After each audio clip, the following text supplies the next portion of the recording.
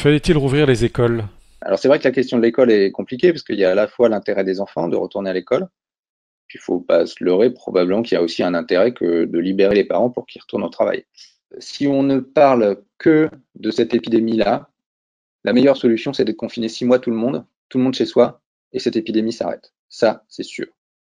Maintenant, c'est pas possible. C'est pas possible. Et même d'un point de vue sanitaire, comme je vous le disais tout, à l'heure, ça aurait provoqué beaucoup plus de problèmes et des problèmes beaucoup plus importants euh, que euh, la simple épidémie euh,